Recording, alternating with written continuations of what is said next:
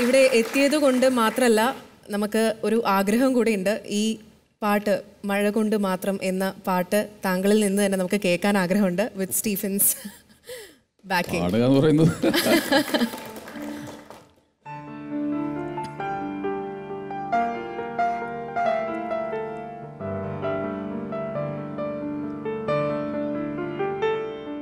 മഴ കൊണ്ടു മാത്രം മുളയ്ക്കുന്ന വിത്തുകൾ ചിലതുണ്ട് മണ്ണിൻ മനസ്സിൽ.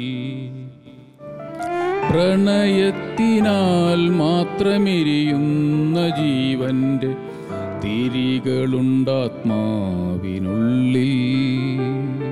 ലാലേട്ട ഈ സിനിമയിൽ രഘുനന്ദൻ എന്ന കഥാപാത്രത്തെ സ്വന്തം മകനെ പോലെ സ്നേഹിക്കും. അതേപോലെ തന്നെ അങ്ങയുടെ ദുശീലങ്ങളെ അത്ര സപ്പോർട്ടൊന്നും ചെയ്യാത്ത ഒരു വലിയ മനുഷ്യൻ ഉണ്ടായിരുന്നു. ക്യാപ്റ്റൻ നമ്പ്യാർ അദ്ദേഹം ഇപ്പോൾ നമ്മളോടൊപ്പം ജോയിൻ ചെയ്യാൻ ഇവിടെ എത്തിയിട്ടുണ്ട്. നമുക്ക് അദ്ദേഹത്തെ വേദിയിലേക്ക് ക്ഷണിച്ചാലോ? തീർച്ചയായും തീർച്ചയായും.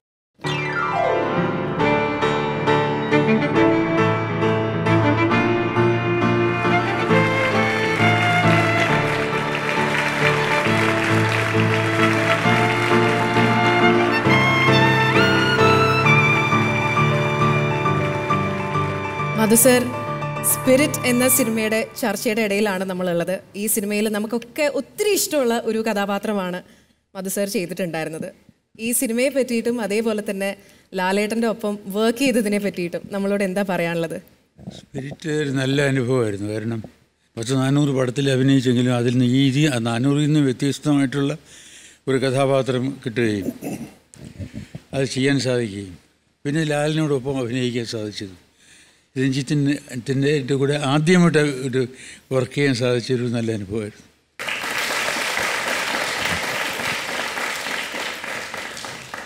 രഞ്ജിത്ത് സാർ ഇപ്പോൾ ഈ കഥാപാത്രത്തിലേക്ക് മധു സാറിനെ വിളിച്ചപ്പോൾ എന്തൊക്കെയായിരുന്നു താങ്കളുടെ മനസ്സിലുണ്ടായിരുന്നത്? എത്രത്തോളം സാമ്യമുണ്ടെന്ന് തോന്നുന്നു മധു സാറും ക്യാപ്റ്റൻ നമ്പ്യാരും തമ്മിൽ ഇവർക്കിടയിൽ ഒരു ഗുരുശിഷ്യ ബന്ധമുണ്ട്.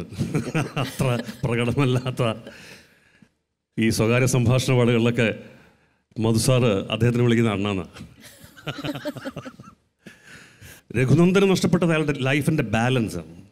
നമ്പ്യാർ ആ ബാലൻസ് വളരെ സമർത്ഥമായും സൂക്ഷ്മതയിലും പാലിച്ചു കൊണ്ടുവന്ന ആളാണ്.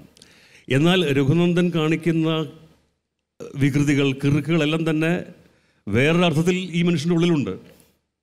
പക്ഷെ അതെങ്ങനെ ബാലൻസ് ചെയ്ത് കൊണ്ടുപോകണമെന്ന് വ്യക്തമായ ധാരണ ഉണ്ടായിരുന്നു രഘുനതിലായിരുന്നു എനിക്ക് രണ്ട് യങ്സ്റ്റേഴ്സിന്റെ കൂടെ വർക്ക് ചെയ്യുന്ന ആ ഫീലായിരുന്നു കിട്ടിയിരുന്നത് മധു സാറിന് എങ്ങനെയായിരുന്നു? ലാലേട്ടന്റെ കൂടെ അഭിനയിക്കുന്ന ഒരു എക്സ്പീരിയൻസ് ലളിതമായിട്ട് രഞ്ജിത്ത് സാർ നമ്മളടുത്ത് പറഞ്ഞു തന്നു. പക്ഷേ കൂടുതലായിട്ട് നമുക്ക് അറിയാൻ ആഗ്രഹമുണ്ട്.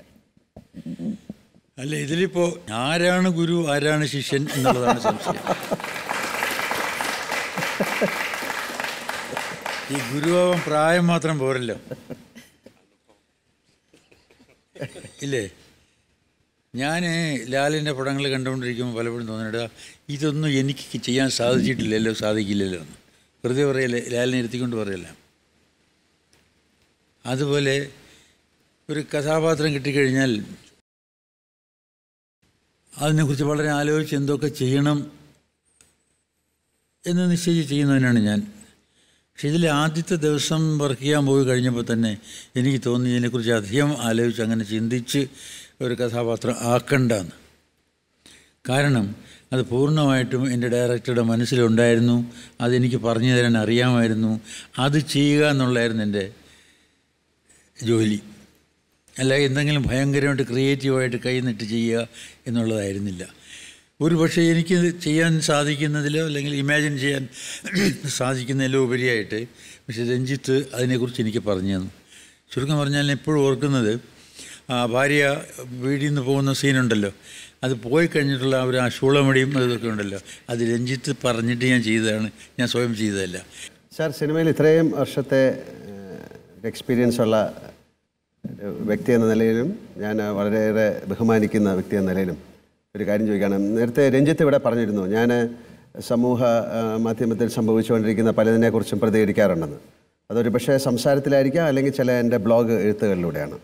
അതിൽ ഒരുപാട് വിമർശനങ്ങളും എനിക്ക് ഏറ്റുവാങ്ങേണ്ടി വന്നിട്ടുണ്ട്. ഒരു കലാകാരൻ എന്ന രീതിയിൽ അതൊന്നും പാടില്ല അത് അല്ലെങ്കിൽ കലാകാരന്റെ ബാധ്യത അങ്ങനെയൊന്നും പറയാൻ പാടില്ല.